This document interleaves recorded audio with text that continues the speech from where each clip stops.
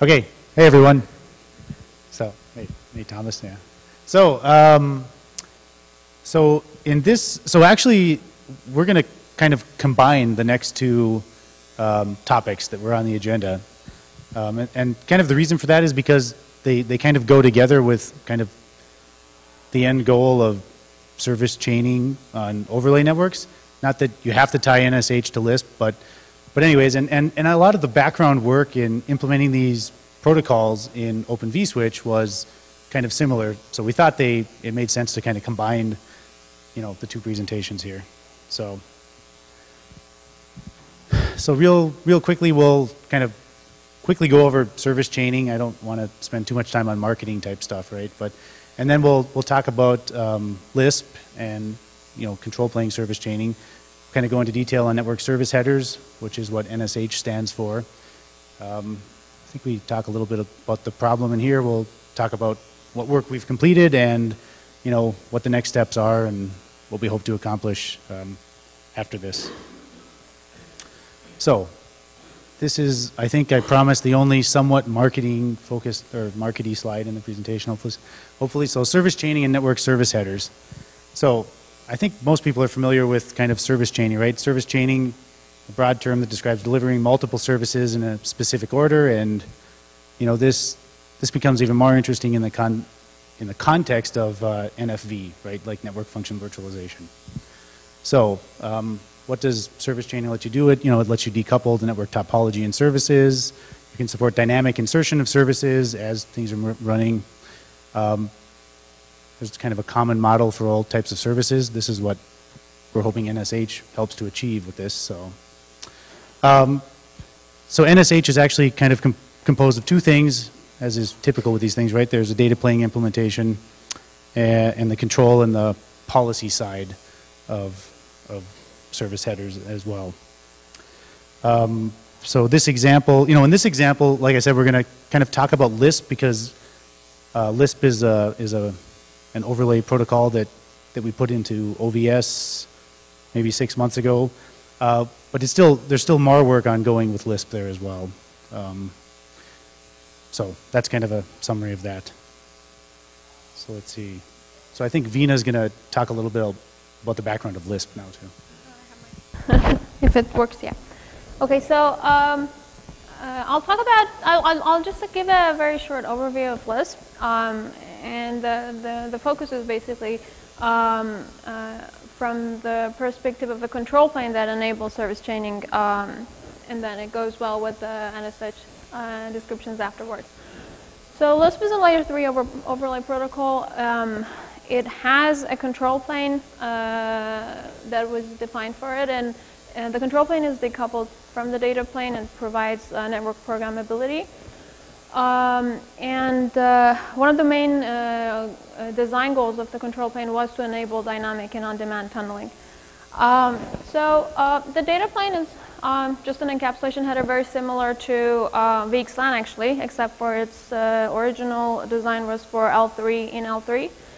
Um, it supports multi-tenancy. the control plane is very, um, in, in, in the most basic form, it's basically uh, it stores a mapping of the overlay addresses or the virtual space to the underlying physical network. Um, and within that mapping, you can also include some forwarding policy as well. The forwarding policy uh, examples are traffic engineering, service chaining, which is what we um, talked briefly today, um, load balancing, and so on. So um, can we go to so this is a, a simple example of how uh, the, for instance, the traffic engineering or service chaining policy um, works in the control plane.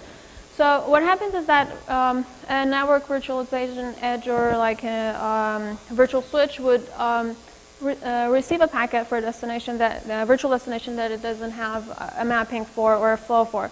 So what it would do is uh, send a request to this uh, mapping system, which is the basic control plane of ours, uh, and it will query the mapping, uh, the physical mapping for, um, for that virtual address. And what it will get back is uh, basically the policy for forwarding that um, uh, to the right destination. And for the traffic engineering, we have this uh, format called explicit locator path where we give as uh, well, basically the mapping system returns a sequence of encapsulation hops. Um, and that basically defines the path, uh, the traffic engineering path, or uh, it can be service chaining as well. And um, then the NV basically will uh, figure out where in this path it, it is based on the locator that it has or based on the IP address that it has. And then it will program in the fast path the next, um, the next hop for that, um, for that flow. Uh, so on the, on the fast path, basically only it's, it, it will be a hop to hop um, forwarding. The next. Oh, actually, uh, just one thing on the previous one.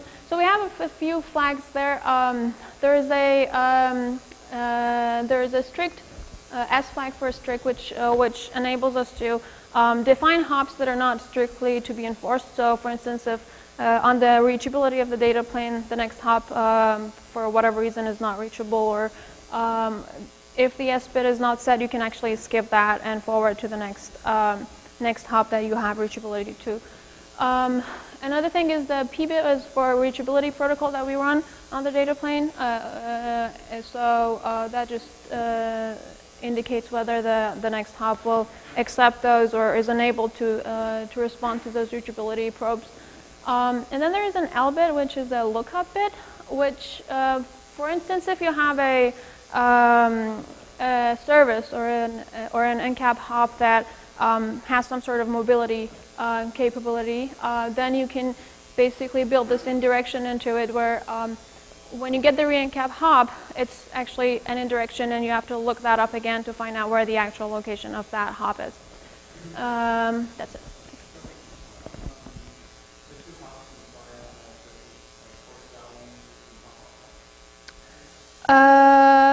Sorry? Oh, so th this is, that's why, like, we're specifying, so regular, usually in the, in the basic version, you would request the virtual address from the mapping, look up the virtual address in the mapping system, and you, what you will get is the physical address that that virtual address uh, is mapped to. So you'll look up a MAC address and you'll get the IP address of the virtual switch. Exactly. So what I'm showing here is not um, the entire uh, response that you get. I'm just showing here the, um, the version where you get a path instead of just a, a destination. So basically, uh, there up there, if you look, we have the network virtualization edge, which is sending your request for a destination uh, address, um, which we call it uh, endpoint address or uh, endpoint identifier, uh, which is the, let's say, a virtual machine's address. And you will look that up in the mapping system, and the mapping system returns to you either one locator, which will be the destination of the, the address of the, let's say, um, machine that that VM is located on, or it will return to you a sequence of hops, um, which will basically uh, define that path, uh, the service chaining path or just the traffic engineering path. And each, each locator here, which is the re-encap hop, will be basically, so you can have multiple hops. Here we have like two re-encapsulation hops, but you can have like um, as long as a path that you would want. And, uh, and each re-encap hop basically has the same kind of Lisp uh, stack, it would, it would get the packet, decapsulate it, forward it to, um, let's say, a service or, um, or do some sort of processing on it, and then again re-encapsulate to the next hop. So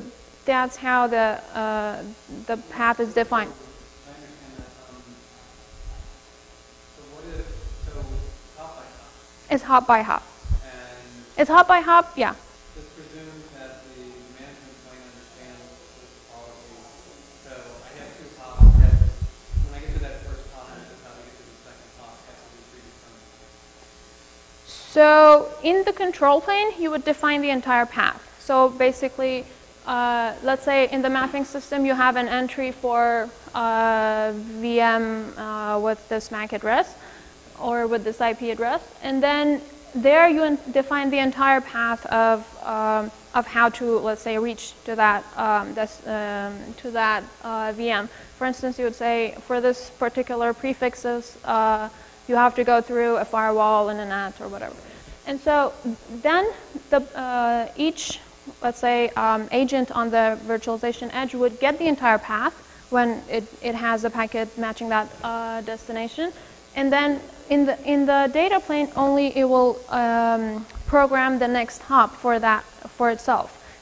Meaning that um, the, let's say, if we were to implement this, let's say in OVS, the OVS user space would get this. It will uh, figure out where in the in the path or in the which re-encapsulation hop it is itself, and then it would program a flow with the next encap hop for that um, for that flow. Does that make sense? Yes.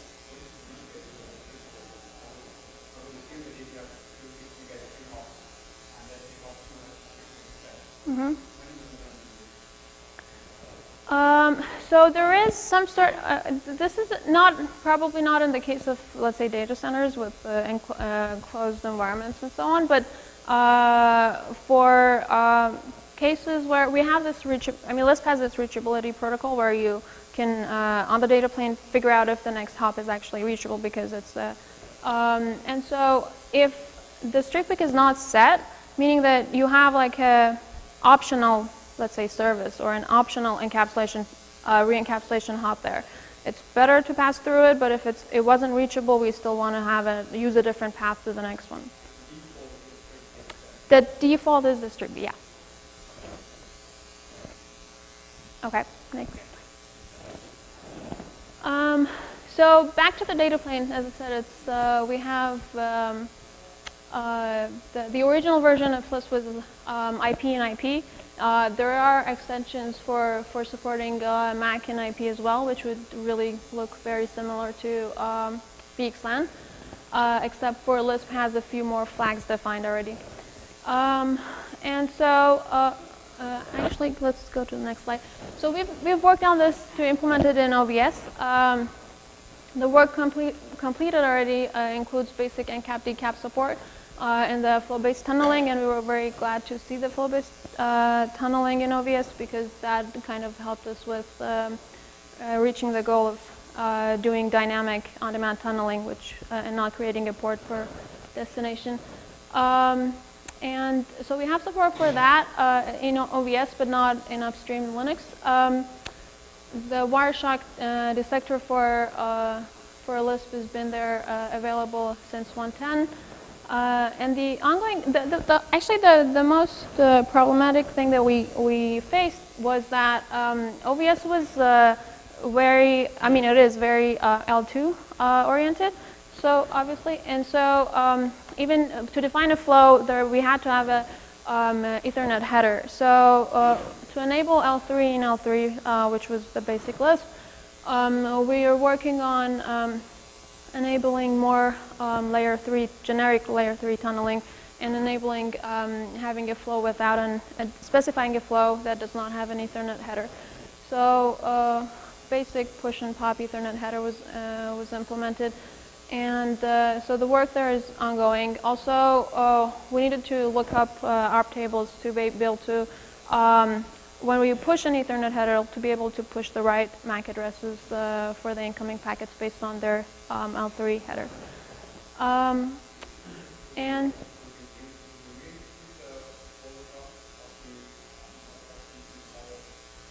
uh,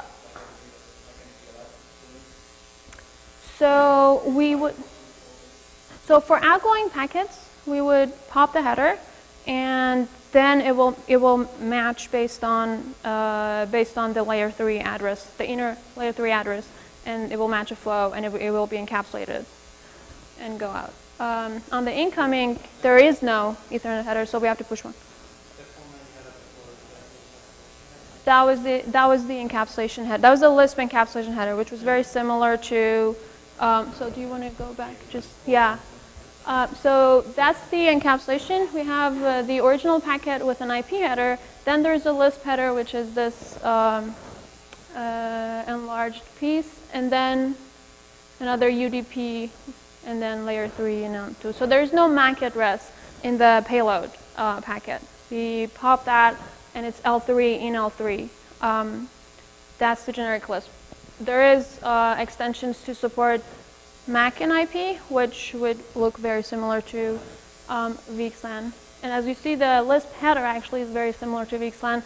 The only difference is um, that a few more flags are defined. And uh, actually, the, the flag number four, which is I, which is instance ID in Lisp, is identical to um, VNI in VXLAN. Okay. Uh, so back to here, yeah. So so that's what uh, is going on right now. Um, Lori Jakab is actually working on uh, on this uh, layer three tunneling support, and hopefully we'll be able to submit the patch sometime in the next uh, couple weeks. Um, we're also looking into enabling Lisp control plane in OVS. Um, haven't started yet. We'll see how that goes. Um, and another effort that is going on is the Lisp GPE. Uh, that stands for um, Generic uh, Protocol Extension. So uh, uh two drafts were submitted in IETF. I think that we're kind of trying to enable, um, including, um, so a more generic format of including um, IP or, or MAC or NSH headers inside um, the layer 3 encapsulation. So basically, um, we would be able to put uh, as the inner header of, uh, of Lisp or VXLAN um, any generic protocol based on a protocol type. Um, and so, yeah, I think uh, Carl's going to talk more about that. So with that, I'll hand it to you. Any questions on the list Lisp side? Thanks. Okay. So let's see. I think we're doing. I think we're doing good on time here. So, um, so I just wanted to. T- so this slide kind of touches on, you know, the service chaining data plane components and, and and kind of how they they relate to NSH, which which was what we're going to talk about now. So you can kind of see we've got four different um, four different components here: traffic classifier, service path, um, service overlay and a context here. Um, it's I think it's it's pretty straightforward. You know, look if you take a look at this as to what they what they do. Um, so let me pop over to. So this is kind of this is and again this this NSH is also an IETF draft as well, and so this is this is kind of like what the basic uh, the basic header is composed of. Um, It's got the, the base header and then these, these context headers um, as well. I think one of the, I mean, one of the key things that, that we had mentioned before was, you know, the, the NSH header is really transport agnostic, so you can kind of stack it on whatever, whatever overlay protocol you want, VXLAN, Lisp, NVGRE, MPLS. Um, I have some backup slides that kind of show that at the end, but, but it's pretty, pretty safe as well. Um, and then the other key point here is that the, the context headers are going to carry the metadata along with the service path. Um, and, and that all of that is likely populated by the control plane because it's the one that's, that's programming these service paths as well. Um, I have another slide that this one kind of goes into um, a little bit more detail on on the NSH header as well as to what's in there. Um, so as you can see, um, let's see, we, we, effectively have two bits that are of significance at the front there, the O and the C bit as well. Um, the O bit is the OAM bit. It's going to indicate if the packet should be punted um, or not. And the C bit indicates if context headers are, are there it. Um, and then we have the, the, the, protocol type of the packet as well. The service index, um,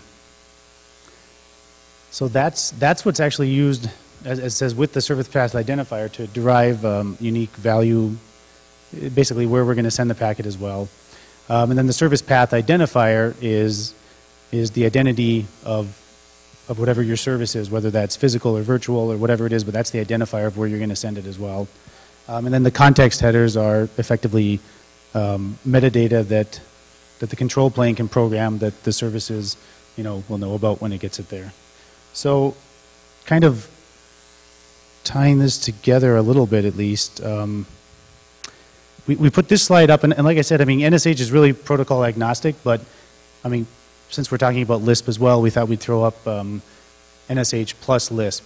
Um, you know, and as actually we, there's a mild problem with this that, and, and this is, this problem is actually addressed, as Vina indicated, by um, the IETF draft around uh, generic protocol encapsulation as well here, so.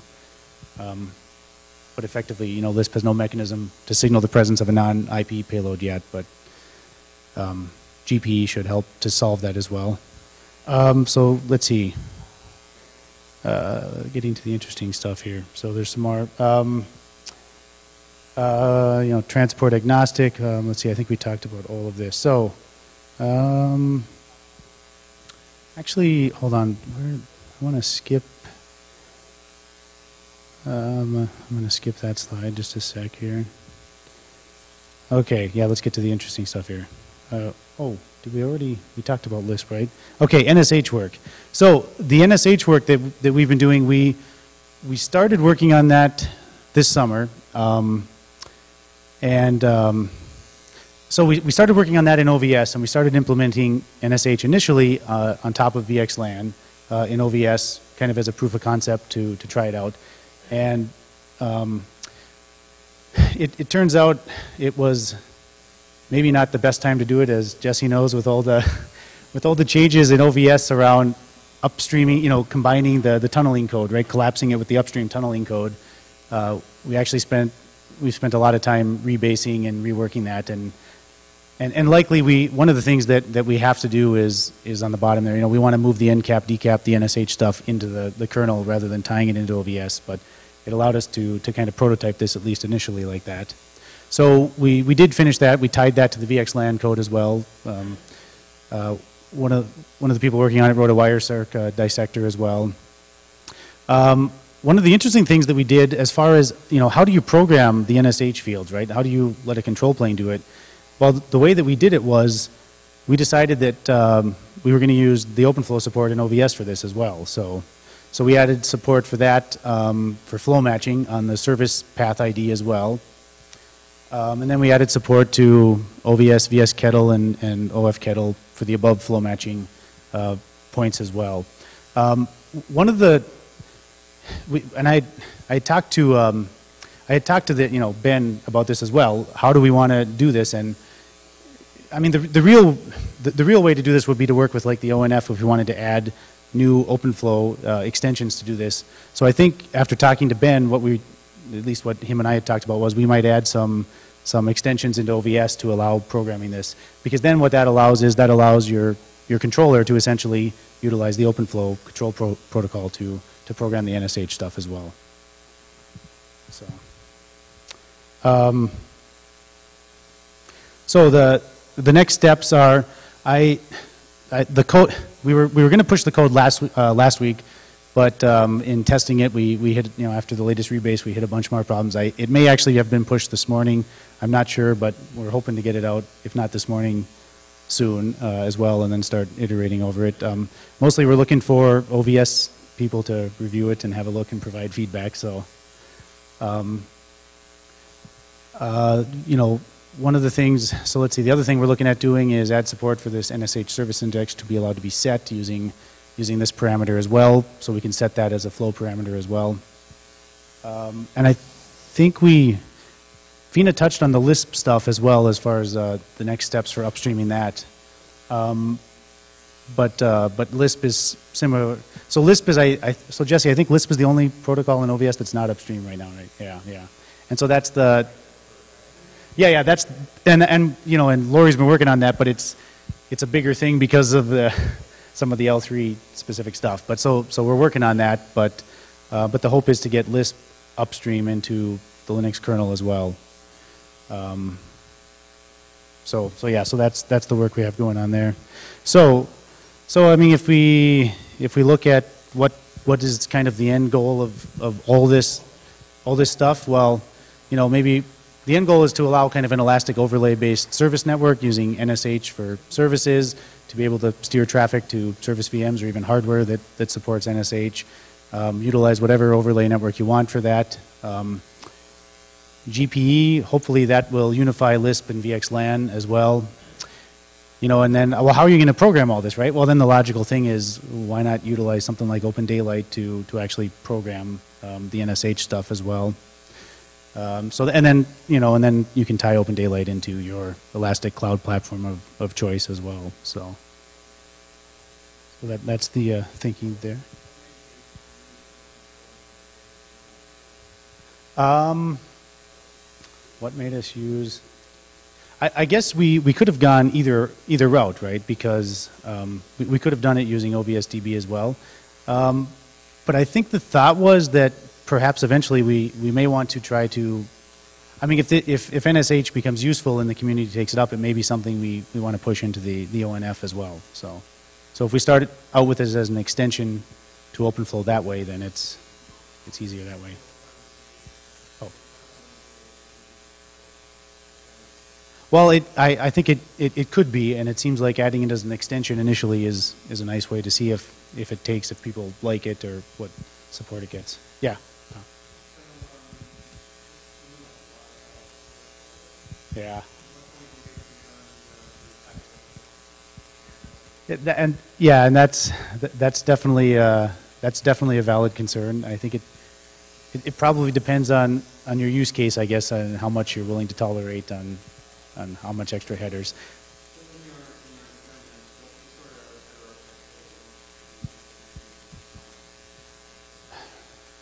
I, um, I, that's a good question, actually. I mean, uh, that's something I'd have to get back to you on, honestly. I, I, yeah. You're in, yeah, you're in, okay.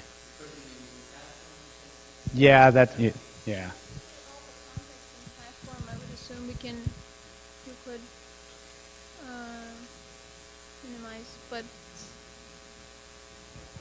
yeah, Yeah, I mean, it depends, right? I mean, I mean, you, you saw tons of context headers for NSH, right? So it kind of depends on what additional metadata you want and what, what serv, you know, what the, the services need for that. So it's, it's kind of variable. Not that variable sized headers are, you know, very good, right? But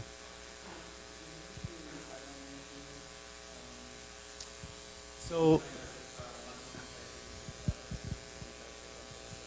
so ILNP is tries to solve a similar problem as Lisp, I believe, right? It's yeah, yeah, yeah, yeah. So it's it's I think it's it, yeah I think that's the best way to describe it. It's trying to solve a similar problem as what Lisp is. It Was there an ILNP presentation? That, oh, okay. Because I thought there was early on. I saw one. I know it would have been yeah it would have been interesting, but okay. So um, let's see. I think I only have one more. Well, I think that's about it. Yeah, just a question slide. So yeah. So any any questions or?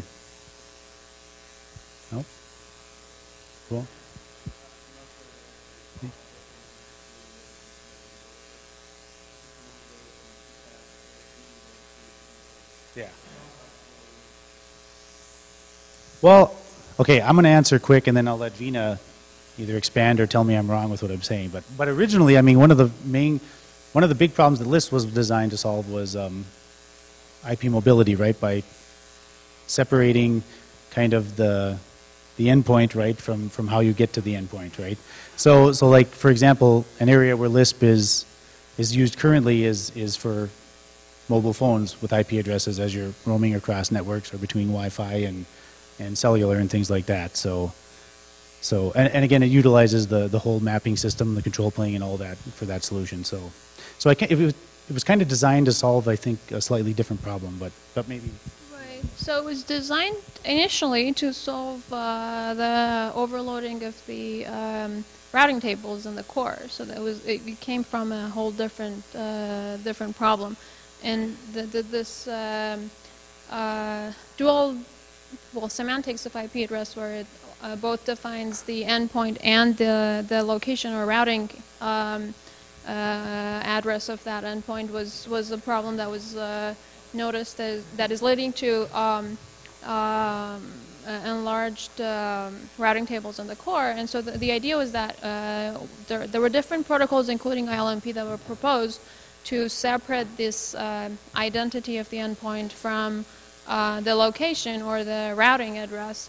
And that way, the connections or the layer three, let's say TCP mm, uh, and layer three protocols will, con- uh, will uh, the host, the TCP sessions will connect to the endpoint address, um, which was decoupled from the routing address. And then there will be an encapsulation or something like ILNP, which is uh, kind of playing with two, uh, dividing the IP, the IPv6 address into two, um, two sections. And, uh, and then you could actually um, aggregate, make the, make the outer layer or the physical routing addresses more aggregated uh, versus the endpoints could, could, could move along um, and still don't um, clutter the routing tables in the core. So that was the initial problem, and, and, and that was, uh, and Lisp was proposed for that, and because of the mapping address, the mapping system that it has, it could do dynamic um, uh, kind of tunneling based on where you go. So it addresses mobility, but um, but it was originally that that's the that's the purpose of original, and and it but as you see, it fits very well in the in the network virtualization concepts because of that separation. So the, the, the ID will become the virtual address, and the and the location or routing address will become the physical address. And it also supports multi-tenancy, um, similar to VXLAN does, and so that's where we see it fit. Okay. Thank you.